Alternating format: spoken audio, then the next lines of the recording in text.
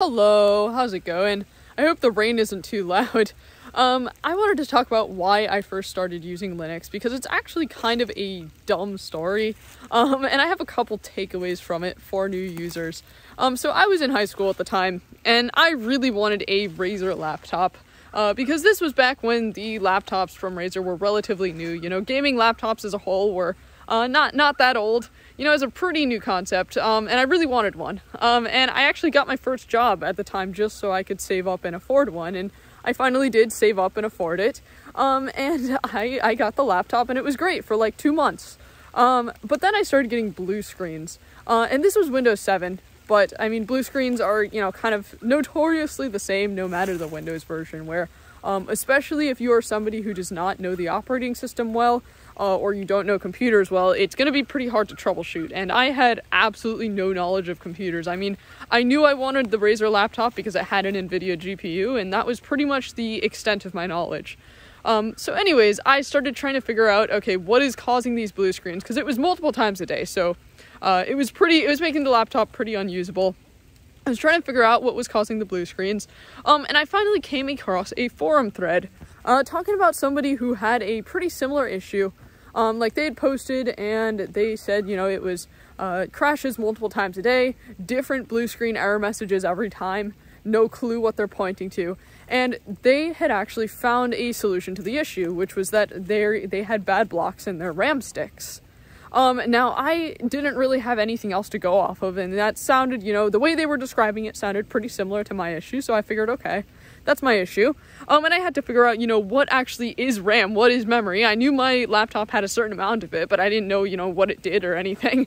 Um, so I finally sort of got started researching that. Um, and I came across a post talking about how Linux handles memory management differently than Windows.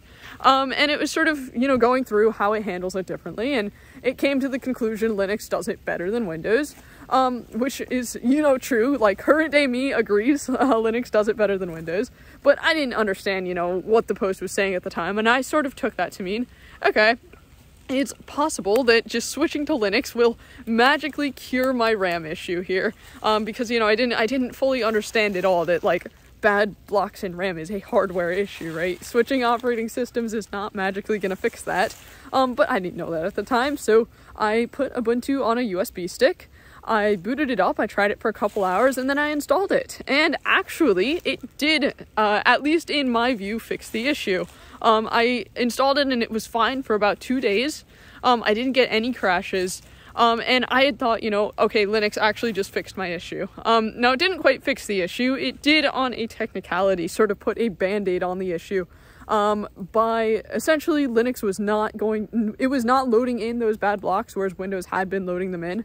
Um, now, unfortunately, the issue came back in full force, you know, like, like six months later or something, um, because I really did not do the correct solution at that time. And the correct solution would have been, you know, uh, go into memtester, uh, figure out where the bad bits actually are, and then just set up a kernel parameter uh, telling Linux not to load them in, right? That's the actual solution, or one of the various actual solutions. Honestly, maybe I should have just cashed in on the warranty. That really didn't even occur to me. I mean, I was just a kid. I didn't, I didn't even think of that. Um, but anyways, so I thought, you know, Ubuntu had fixed my issue, um, but I really didn't like how GNOME looked. Um, so then I had I had been looking up, you know, a little bit about Linux and a little bit about the different uh, variations of Linux. I thought, you know, distro was the same thing as desktop environment at the time. You know, I thought they were connected. I didn't realize it wasn't the same thing. So I had seen some posts talking about Arch and um, essentially saying it, you know, it's better. Um, so, and I saw, you know, people had Arch with KDE installations, and I saw KDE looked a little bit more like Windows, and I wanted something uh, that looked like Windows. So I figured, okay, let me install Arch and KDE. Um, and of course, I installed it in five minutes, and I've been an Arch master ever since. No, I'm joking. Um, it took me like nearly a week to get a working install. Um, I went through multiple failed installation attempts because I was literally just typing in commands without understanding at all what I was running, you know? Because um, I had no knowledge of computers. I had never used a command line in my life. Um, I was literally just, you know, sort of reading and then trying to type it in and try to, you know, hoping that it would work. Um, and finally, I had gotten a working installation. Now, if you've ever, you know, installed any sort of uh, Linux distro that's like you know, a scary black box sort of installation, and especially if it's taken you like multiple days, um, it's really nice when you finally like boot it up and you can log in as root. And you know, it's funny looking back because now I sort of view the Arch installation process as really straightforward, right? Um, like, I mean, I would say I probably could just do it by memory, right? I mean, uh, maybe I need to, you know, double check on the uh, time zone uh, syncing commands. I, I don't know if I have those memorized, but um, you know, it's straightforward to me now. Um, back then it was, you know, so hard. So I sort of I have compassion for people who find the Arch installation, at least their first couple times doing it really hard because I had, you know, zero knowledge of any of that sort of stuff. So anyways, I finally got it installed. Um, and I had KDE. I put KDE on it. KDE booted up fine. It was great. Um, and then I went to plug in the laptop back to my external monitor because I had, for the duration of the install process, I'd unplugged it. Um, and I went to plug it back in, and of course, the external monitor was just a black screen. Um, and this sort of goes back to how NVIDIA and Linux notoriously do not play well together. Uh, back then, it was even worse than it is now, and um, I actually had the laptop version of the card too. I, I didn't even have the normal desktop version that everybody else had, but I, you know, spent like a week trying to figure out, first of all, what the issue was because I didn't immediately know, um, and then trying to figure out, okay, reading logs, uh, you know, typing in solutions that other people had for like similar issues. Finally, finally, I got it working and I had my first, you know, real Linux installation going. Um, I, I, like to say Ubuntu. I mean, I like to say Arch was my first real distro because I only used Ubuntu for like a couple days. So I, I like to claim that Arch was my first distro. I guess you can decide whether it was or it wasn't. But, anyways, I finally got that Arch install working. And of course, you know, it took me multiple years before I felt, you know, a lot more comfortable in the command line and like with the various aspects of my system and actually understanding things. But um, I wanted to offer, you know, a couple takeaways. Uh, I guess for new users, but I guess maybe really for anybody. Uh, the first thing I want to say is there's no correct reason to use or to install Linux, right?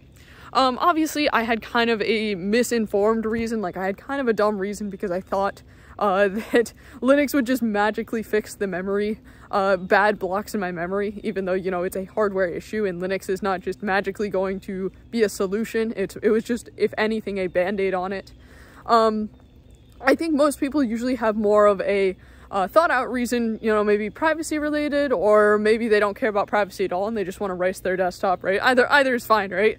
Um, but there's so many different reasons for somebody wanting to install and use Linux. So I think it's worth keeping in mind, you know, maybe there isn't really a correct reason. And I guess if anybody out there does have sort of a, a, as dumb of a reason as I initially had, then uh, I don't know, feel seen, I guess.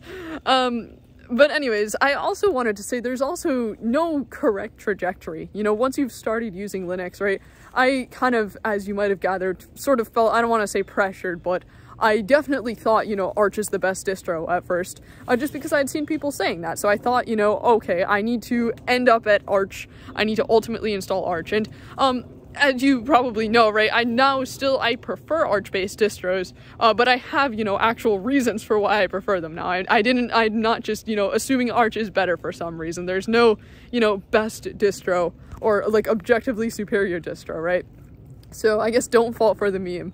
Um, I also wanted to say though, uh, be patient with yourself as you're learning Linux, right? If you're, especially if you're very new and um, you're having to spend, you know, days troubleshooting stuff because um, that was me for years, right? For like at least the first couple years, um, issues would take me, you know, days or even a week to troubleshoot. And um, luckily now, you know, in the past few years now, I haven't had any sort of like actual system issue that took me more than a day or so to figure out, just because the more sort of experience you have with your system, the more uh, globally applicable knowledge you get, right? Because a lot of things interplay with each other. So once you understand one thing, it might come back to play somewhere else later. So it's, you know, it's just a matter of time and just being patient and eventually you'll learn it better. I mean, there's a reason why, you know, people say if you are trying to learn sysadmin stuff, right? Uh, instead of just using Linux on a server, just install it on your personal computer and you'll uh, you'll start to learn the concepts faster. Um, but anyways, uh, I guess it's starting to get kind of kind of raining. So Uh, it was it's been drizzling, but it's picking up a little bit. So I figure this is probably the end of the video for now. Um, I hope you enjoyed this kind of a story. I, I, probably have more similar, like sort of dumb Linux stories to share, uh, many of which being typo related. So uh, be careful if you type sudo. Any well, be careful if you type anything, but be very careful if there's a sudo in front. Uh, but anyways, I hope you enjoyed this story. Um, and I also wanted to say if you are in the US and celebrated Thanksgiving, I hope you had a happy Thanksgiving with your friends and family. Uh, anyways, I will see you next time. Peace.